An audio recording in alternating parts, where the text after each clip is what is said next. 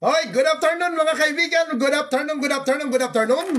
Magandang tanghali at good afternoon, good morning, good evening sa mga kababayan natin na nasa ibang bansa at nasa iba yung dagat. Magandang araw. Kamusta na kayo? Siyempre, dahil kasisimula lang natin, music, music muna tayo. Yeah.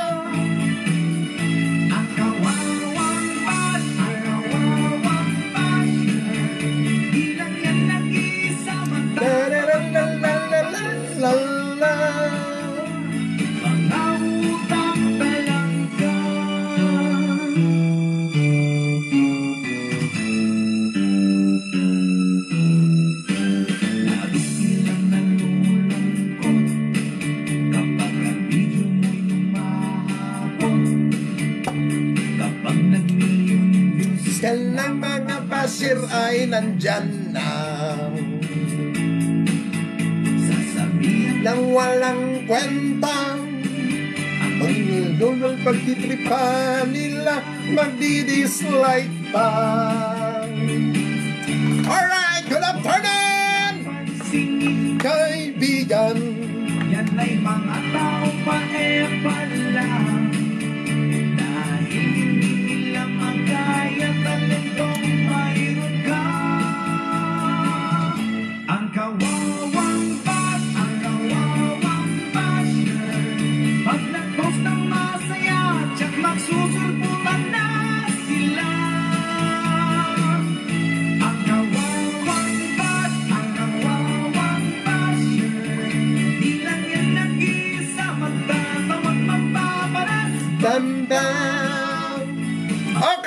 afternoon mga kaibigan, mga kapatid, Luzon, Visayas at Mindanao at sa mga OFW, magandang araw po sa inyo mga kaibigan. Dalangin ko, nasa mabuti po kayong kalagayan sa mga sandaling ito, kapatid, ha? At dalangin ko, nasa maayos kayo na kinalalagyan, ha? At doon sa mga basher, putang ina ninyo, ha? Mga putang ina ninyo, lahat ng mga basher, lahat ng mga ulupong, mga buwaka ng ina ninyo. Yan ang sagot ko sa inyo. Ha? Doon sa mga basher na kuda ng kuda na eh, nako. Alam nyo mga kaibigan, magsalsal na lang kayo, putang ina ninyo. Jacoling nyo na lang ang mga bayag nyong hindi na tumitigas. Oo. Para naman, mapaligaya nyo ang mga sarili ninyo, mga leche kayo. Oo. Ganun lang ang labanan, ha? Pero ganun pa man, kaibigan. Baka ikaw ay ayaw makarinig ng mga salitang hindi ka nais-nais, mga salitang mura na ayaw mong makarinig. Pakinggan mo ito, putang ina mo ka, ha? Paalala, kung ikaw ay isang baguhan lamang dito sa aking channel, Yan. sa aking Facebook Live, sa aking YouTube Live, kung ayaw mong makarinig ng mga sumusunod na salita, pukin ang ina mo ka, hinayupa ka, gago ka, ulul ka, pendeho ka, leche ka, iho di puta ka, lumayas kayo rito sa aking live. Ako po ay hindi isang santong vlogger, ako po ay sadyang bastusin. Ooh. Kaya lumayas kayo rito kung ayaw nyo makarinig ng mga salitang hindi nyo makain. Mm. Paalala, kung ikaw ay isang baguhan lamang dito sa aking channel, sa aking Facebook Live, sa aking YouTube Live, kung ayaw mong makarinig ng mga sumusunod na salita, Yes. pukin ang ina mo ka, hinayupa ka, gago ka, ulul ka, Yan po ah, malinaw po yan mga kaibigan ha. Kung ayaw nyo pong makarinig ng mga mura, ng mga masasamang pandinig sa inyo, wag po kayong manonood dito. Yan po ang sinasabi ko, okay? Ha? Okay, simulan natin. Siyempre, alam niyo naman ako, I love the music bago mag-start. Yun ang pampakalma ko sa mga bawat video ko. Kasi pag natapos ang mga music na ito, tuloy-tuloy na tayo. Okay? Share-share na muna! Okay? Share-share na muna mga putang ina ninyo. Yan lang ang pakinabang ko sa inyo. Sa bawat live ko, sa bawat vlog ko rito. Okay? Share-share na muna kayo dyan. Mga puwisit kayo.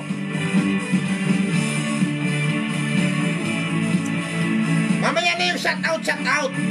Ha? Mamaya babasahin ko yung mga comment nyo dyan. Kung bilang may bagong ng buhay, bagong bansa. Share, share na muna!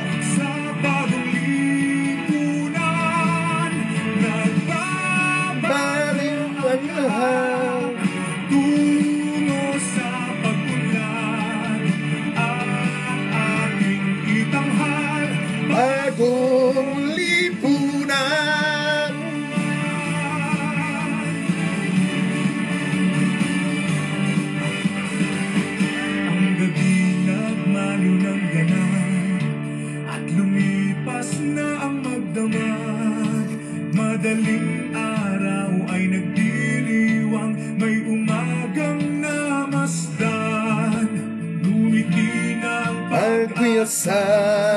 sa umagang anong ganda May bagong bilang. May bago ng buhay. Bagong bansa Bagong balang mapalilipunan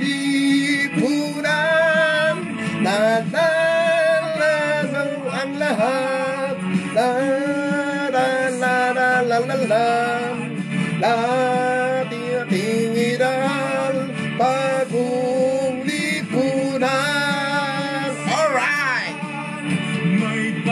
Alright! Maganda ba ang araw ko ngayon? Yes, maganda mga kapatid Mabuhay ang mga tanga at mga bobo. Na...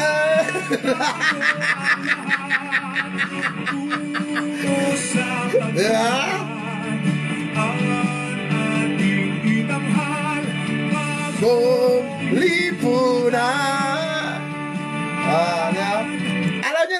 kaibigan, hindi kompleto ang araw ko pag walang nabibwisit eh. Pag walang nauurot. Alam niyo yan, mga kapatid. Simple lang ang aking kasiyahan, ang mangupal, ang mamgupal, at mangulol, at manggago. Yan ang kaligayahan ko. Utang ina ninyo. Mga galit sa akin dyan. Kunwari, mga basher. Utang ina nyo, magpakatotoo nga kayo. Nag-i-enjoy naman kayo rito sa mga live ko. Huwag na tayo magpaka-impok nituhan. Diyos ko. Magpakatotoo tayo, mga animal kayo, ha? Magpakatotoo tayo. Huwag tayong magpaka-plastic. Gunang buhay. Banalala. bagong galaw Madalalipunan Nagbabago ang lahat Tarararararan Ang ating itanghal Bagong Lipunan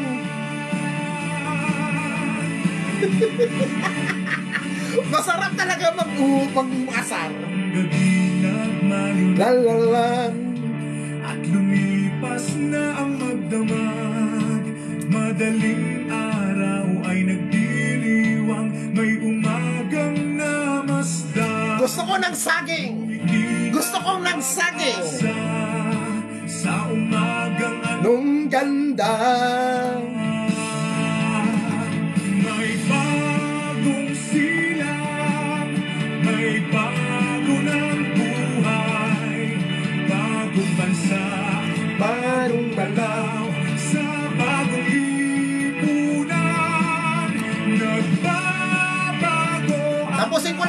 share-share ko. Mas atake na tayo.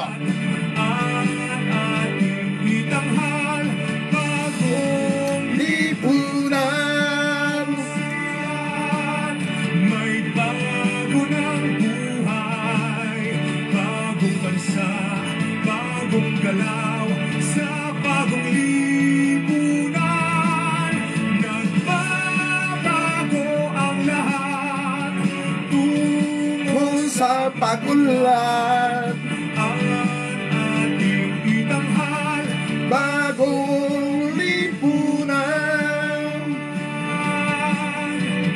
Music! Last music na to. Last music na to, guys.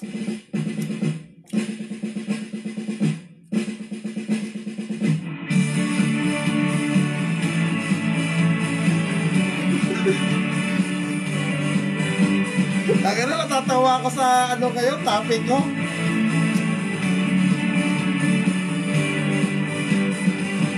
May bagong silang May bago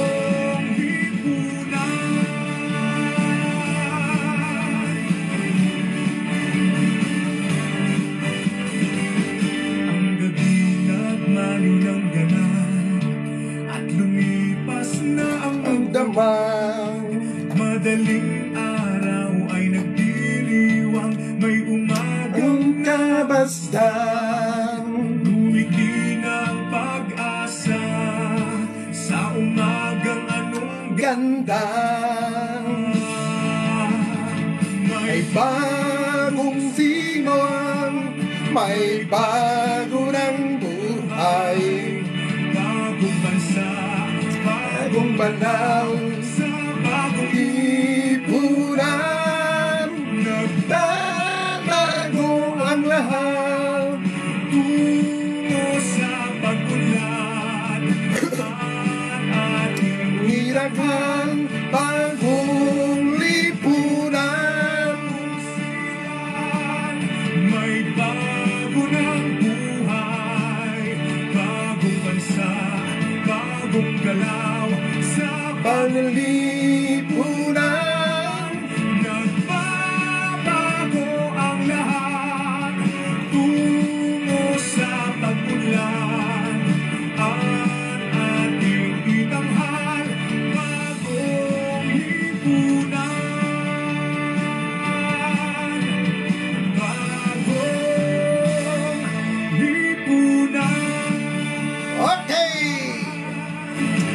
Okay, magandang hapon po sa inyo lahat mga kaibigan. Simulan na tayo. Mhm.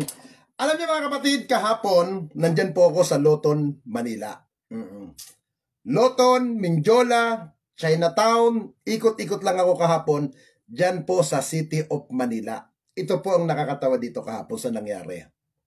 Nagpa, ra, nagpa meeting rally para daw support kay Pastor Apollo Kibuloy.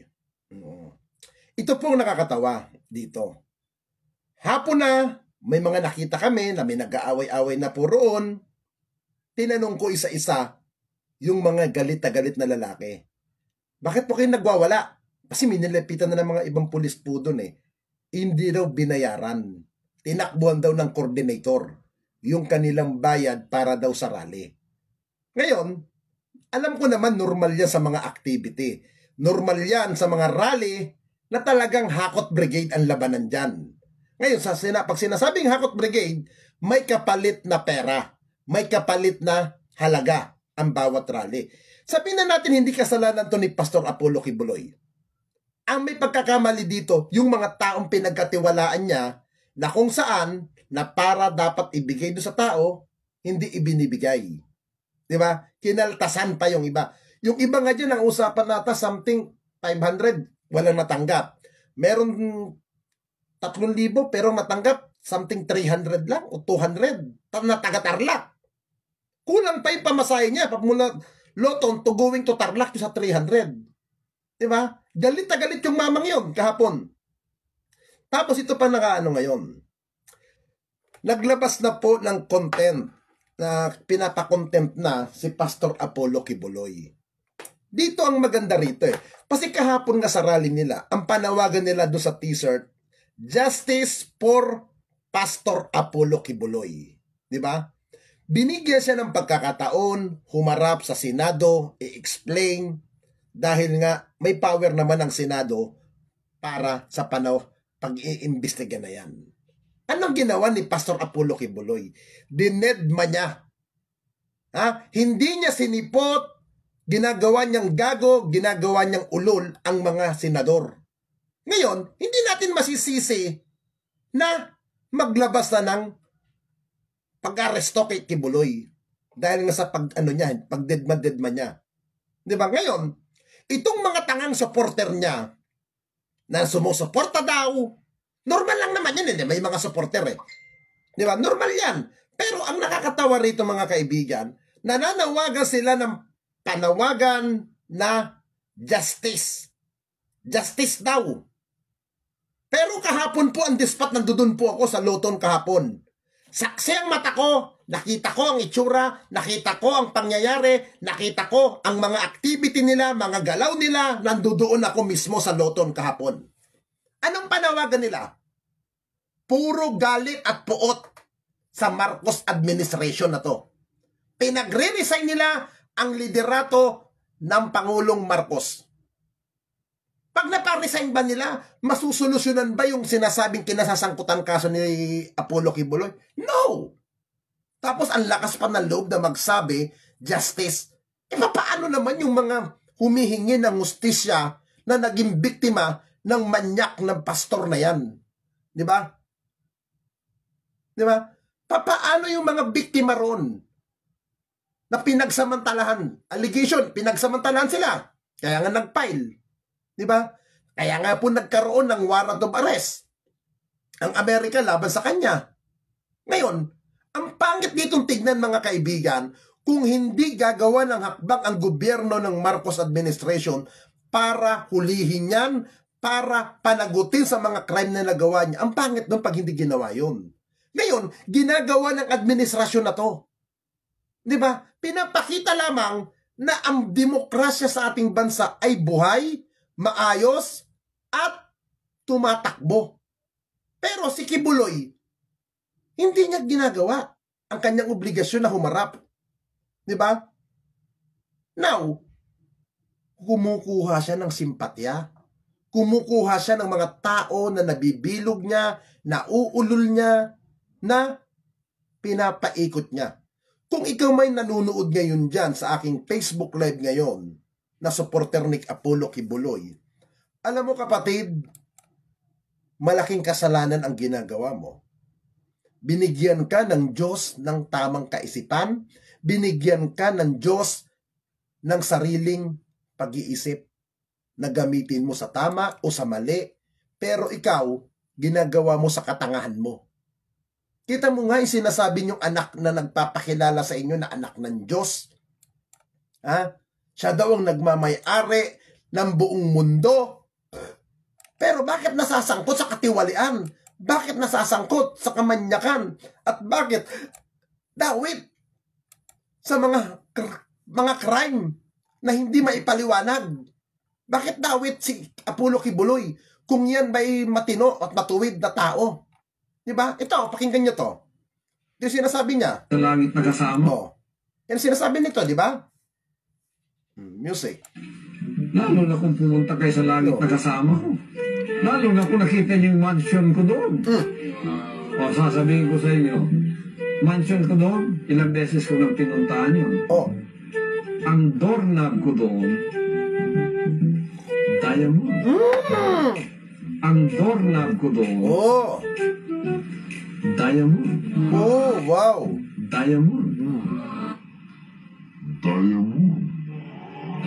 I am now the owner of the earth. I am now the owner of the world. Oh, no. I am the champion of the world. Magaling, magaling si Tibuloy. Magaling, magaling, magaling si Tibuloy.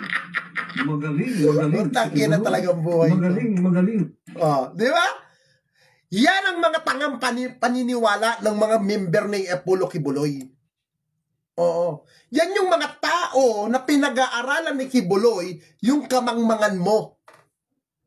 Yo, yan yung mga panatikong kulto na napaniwala ni Kibuloy dahil alam ni Kibuloy na isa kang tangat mangmang na bobo.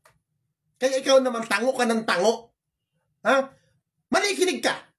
Kung ikaw ay isang member ng simbahan ni Apollo Kibuloy, putang ina mo ka, lumapit ka sa akin at ipipipray over kita nang matauhan ka. Ha? Kita nyo nga yung mga membro niya, inuulol niya. May trabaho kayo. May dapat kayong gawin sa buhay ninyo. Pinirwisyo kayo. Di ba? Pinirwisyo kayo. Para sumama at ipanghambalang at gawin kayong official doon sa kanyang mga kaso at palabasin siya ay inosente. Di ba? Ganyang kagago yung ibang member. Kaya matauhan kayo. Ha? Yan ba ang sinasabi niyong alagad ni Kristo? Na yan ba ang magtutulak sa inyo para dalhin kayo sa kalangitan? Para kayo ay madala sa tamang paggabay? Putang ina mga kaibigan, ililigaw kayo. Ha? Naaawa ako sa inyong espiritu. Naaawa ako sa inyo na madadala kayo sa impyerno. Tang ina. Ha? Tandaan nyo, sinasabi nga ng ating puong may kapal, mag-ingat kayo sa mga bulaang propeta. Ha? Na nagpapanggap na maaamon tupa, nakaaldi mo'y nakaabito. Di ba? Na akala mo ay mga banal. Iyong pala, mga demonyo. Di ba? Kita nyo na lang ito mga kaibigan. Panahon ni dating Pangulong Duterte. Di ba? Inaresto si Pastor Apollo Kibuloy sa ibang bansa. Ano ang kaso? Human trafficking. Di ba? Mga armas na naglalakihan, mga high power na baril nakuha sa kanya. Di ba? Kung ikaw ay anak ng Diyos, kung ikaw ay sugo ng Diyos, kung ikaw ay talagang makadiyos ka, hindi mo kailangan ng baril. Dahil iingatan ka ng Diyos sa kahit anong panganib sa buhay mo. Hindi magtatagumpay ang mga gagawa ng masasama sa'yo. Bakit nagdadala si Apollo Kibuli ng mga ganyan? Di ba? Kasi, alam ni Apollo Kibuloy na marami siyang katabalbalan, marami siyang katarantaduhan, na pwede siyang gantihan anytime. At itong mga mangmang na madaling napauto, madaling naulol, na napaniwala sa salita ng amen-amen, na paniwala sa hallelujah, yan, sandamukal na tanga kayo. Di ba? Pag kayo talaga sa napan, ano, alam nyo guys, pag gusto nyo talagang yumaman, ha, gusto nyo umangat sa buhay, maging powerful, gumawa kayo ng isang religious. Tsak yun. Di ba? Amen! Yayaman ka. Di ba? Ganyan ang buhay sa mundo. Di ba? Amen! Hallelujah! Hallelujah! Hallelujah! Hallelujah! Shalom kuraramakanda. Di ba? Amen! Say amen! Hallelujah! Hallelujah! Kita nyo na lang, itong mga DDS vlogger na wala rin kukote, na wala rin utak, ha? Eh, pag sa vlog naman, ang tatalino. Di ba? Ang tatalino, ang gagaling. Pero sa realidad, mga tanga at bobo. Ito totoo. Mga tanga at bobo. Alam na nilang may kinakasangkutan yan, siging depensa. Di ba? Di ba? Ganyang kaulol ang mga member na ng mga ganyang panatiko. Di ba? Ganyan kayo kaulol. Di ba? Ano ang gusto ninyong mangyari? Ha? Magwatak-watak tayo? Di ba? Maka makajus kayo, mga banal kayo. Di ba nasa Biblia? Igalang nyo ang nahinirang kong namumuno sa bawat bansa, sa bawat bayan, dahil yan ay aking hinirang at magpasakop kayo. Hindi ba, tinutu- hindi ba tinuturo ni Kibuloy yan? Ha? Tapos nakakatawa, sasabihin natin ni Kibuloy, walang utang na loob daw ang Marcos administration na to. Kung hindi dahil daw sa kanila, hindi daw makakaupo, putang ina naman. Hoy, itong challenge ko sa inyo, sa mga member ni Kibuloy, makinig kayo mga putang ina ninyo. Malakas pala kayo, kaya nyo pala magpada, magpaupo ng kung sinong senador, kongres, pangulo. Bakit hindi nyo napanalo si Salpanelo? Ah, bakit hindi nyo napanalo si Harry Roque? Ha? Kung talagang malakas ang pwersa ninyo, magpakatotoo tayo. Bakit hindi nyo naipaupo yung dalawang asungot na yan? Ha? Na yung isa, na balak atatang maging dancer ng TikToker na si Harry Roque. Ha? Di ba mahilig sumayaw din yan? Ha? Na butanding-butanding na kahit na nagkakatawa kamukhang katawa-tawa na turingan abogado pero parang hindi abogado. Di ba? O si Salpanelo, todo rin din pensa kung ano-ano. Ang nakakatawa lang dito sa dalawang matandang ito, hindi magkatugmang sinasabi ni Salpanelo at ni Harry Roque. Para lang makadepensa, para lang maipagtanggol yung manyakis na si Pastor Apollo Kibuloy. Hindi na magkatugma-tugma sinasabi nyo. Di ba? Bus yung mga tanga, emen ang emen. Pero yung ginawa nyo kahapon doon sa paghakot brigade, yung mga taong napirwisyo ninyo, ano nangyari? Pinauwi ninyong luhaan. Hindi nyo ibinigay yung tamang kabayaran. Bagkos tinakbuhan pa ng mga tauhan ninyo. O sino sinasabing Pastor Jerome? O, na si, na si Brother Jerome. Na taga Rizal daw yan. Ah, nakakahiya. Naturingan, pastor. Naghahakot ka ng tao. Para lang magparali laban sa gobyerno. Yan ba ang pastor na alagad ng Diyos? Ha? Hindi ba nakakahiya? Yung mga gawa ninyong galawan? Ha?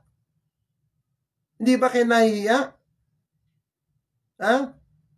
Dahil hindi lang pumapabor sa inyo ang gobyernong ito, hindi lang sang-ayon sa inyo, kung ano-anong pinagkasabi ninyo, yung sinasabi niyo si Sarah nang ipalit, bakit? Ano ba nagawa ni Sarah? Ito, oh, may nabulgar na naman kay Sarah, oh, kay BP Sarah. Yung ghost employee ng DepEd. Oh, bakit hindi nagko-content yung mga vlogger ni BP, ano dyan, ni BP Sara? Yung mga Duterte vlogger, ba't hindi niyo i-content yun? Yung ghost employee ni BP Sara daw, allegation ni Rapi Tulfo yan ah. Oh. Ba't hindi niyo i-content yan? Bakit? Dahil kahihiyan ninyo. King ina ninyo. Tapos si Sarah gusto niyo maging ipapalit na kaagad. Ha? Kundi ba kayo mga gago? King ina ninyo. Yung mga pinagngangak nyo sa PCSO. Yung mga pinagkukuda ninyo sa PCSO. Na kesyo ganito, ganon, ganito daw, corruption. Putang ina ninyo, tigilan nyo ako. Ha? Noong panahon ni Pangulong Duterte, ano naging issue sa PCSO? Sampung milyon? Isang gabi lang ginastos? Para sa Christmas party? Pinanagot ba yan? Ha? May nanagot ba dyan na opisyal ng PCSO noong panahon ni dating Pangulong Duterte? Di ba wala? Kasi gusto nyong sirain, hindi nyo masira-sira si BBM, hindi nyo masira si Lisa Araneta Marcos. Ngayon, yung general manager naman ang niyayari ninyo para kung ano-anong kalitsyan ang sasabihin ninyo. Di ba? Tigil-tigilan nyo, mga puki ng ina ninyo. Ha? Lalong-lalo na yung isang bakla dyan na transgender na malaki pa ang bayag sa akin, puki ng ina, nagbibihis babae, hindi mo nalang putulin ang bayag mo at isupsop mo sa bunganga mo nang manahimik ang puki ng ina mo kang sasragandon ka. O ito pa pala, bakit din ba si sasragandon na banggit natin? Bakit hindi pa kasama tong puki ng inang baklam na hindi rin makapagladlad, itong si Banat Bay, na putang inan to? Ha? Puro ka pasaring din sa akin. Hindi mo naman ma direct to the point ang pangalan kung puki ng ina mo ka. Ah, eh duwag kang putang ina mo ka. Ah, ang ina mo ka, magparamdam ka nga banat bay kung buhay ka pang buha ka ng ina mo ka. Ah, nang makapagkapi naman ako sa burol mo, puki ng ina mo. Ah, imbes yung mga kapulisan natin kahapon, rumoronda sa kanilang mga area, ayon, kinuha yung atensyon ng mga kapulisan, pinagbantayin nyo dyan sa rally ninyo, para lang mapa, mapa, mapanatiling kapayapaan sa inyo dyan. Ah? Di ba kayo nahiya niyan? Ang dami nyo sinagabal kahapon. Ang nakakatawa pa rito, putang ina ninyo, yung mga basura ninyo, inabutan ninyo ang loto na malinis, nilayasan ninyo na sang katotak ang basura kahapon. Nasaan ang disiplina nyo dyan? Yung pinaglamunan ninyo. Ah, saan yung pinag-iiwanan do sa, ano, sa mga upuan ninyo? Ang ina ninyo. Sa bagay, eh, inastapan nyo ngayon mga hinakot ninyo. Yung pinaglamunan nyo, iniwan nyo lang doon. Hindi pa kayo nahiya niyan? Naabutan yung malinis, naabutan yung hindi makalat, iiwanan ninyong isang tambak na kalat ang luton kahapon. Putang ina to, nagka-traffic-traffic doon. Kasi ito pa, alam nyo mga guys, yung rally nila kahapon doon mismo sa aktual, ginanap po yan sa may fountain. Sa fountain po, doon sa tapat mismo ng Loton. Na pinalalabas nila, sandamukal daw ang tao. Putang ina. Edit na edit yung video nyo kahapon. Ha? Nandoon ako kahapon. Hindi ganyan kakapal ang tao. Ha? Gawain nyo talaga. Pag-uululin yung mga tao. Kasi kung talaga may pwersa kayo kahapon, ha? Ba't hindi kayo lumusob sa Malacanang kahapon? Nang makita ko't magpaluan kayo ron, nang maghampasan na kagad. Ha? Tandaan ninyo, hindi kayo magtatagumpay sa gusto nyong mangyari na wasakin ang gobyerno ng kasalukuyang liderato ni Pangulong Ferdinand Bongbong Marcos Jr. Hindi, hindi nyo mapapabagsak to. Trust me, mga kaibigan. Ha? Dahil alako'y naniniwala na ang administrasyon na to ay hinirang ng pong may kapal, hinirang para pamunuan tayo. Ha? Ngayon, kung meron kayong gustong ipaupot, gustong ipalit dyan, hintayin ninyo ang 2028. Ganun lang, kabilis. Ha? Doon nyo ipakita. Ha? Pero hanggat nakaupo ang Marcos administration, linisin nyo muna ang pangalan ng pastor ninyong malibog na mahilig kumantot, mahilig dumila ng puking mabantot, nakaksimbantot ng mga katangahan ninyo. Ha? Na hindi ba kayo nahiya mga putang ina ninyo, pakilala ninyo, mga sugo kayo ng Diyos? Ha? Alagad kayo ng Diyos, pero kadimunyuhan ang mga pinaggagawa ninyo? Ha? Na hindi kayo marunong rumespeto? Ha? Yan bang sinasabi ninyo? Ano, may nangyari ba sa rally ninyo kahapon? Kanina, yung rally nyo sa Senate. Ano, napatigil nyo ba yung investigation? Ha? Napigilan nyo ba ang paglabas ng content labang kay Pastor? Wala. Ha? Kriminal pa rin ang inyong pinagtatanggol. Ha? Ito pa nakakatawa. Bakit hindi lumitang si dating Pangulong Duterte kahapon? Bakit hindi siya lumutang doon? Kasi alam mismo ng dating Pangulong Duterte na may kaso si Kibuloy. Ha? Alam ng dating Pangulong Duterte na manyak talaga yan, si Kibuloy. Ha? Kaya, doon sa mga tanga, ha? Magrally kayo na magrally, karapatan nyo yan, ngumakngak kayo ng ngumakngak, at magpakasawa kayo hanggat gusto ninyo. Dahil ang gobyernong ito, mas pipiliin namin na magkaroon ng isang leader na maayos. Ha? At least ang li, ang, ban, ang bansang ito ngayon na namumuno, hindi mamamatay tao. Ha? Hindi nagpapatay ng tao. Hindi kagaya ng dating namumuno, pinapapatay niya ang mga kalaban. Nakakahiya. Mga puki ng ina ninyo na turingin kayong mga member ng mga Diyos pero mga demonyo kayo, mga puki ng ina ninyo. Ha? Kayo ang sumisira ng bansang ito. Ha?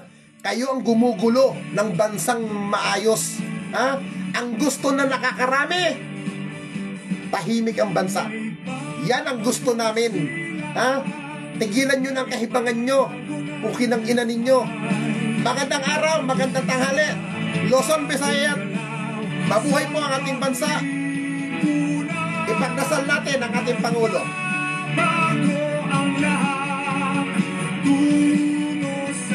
Ayun na, ako. Okay guys, we love you to all.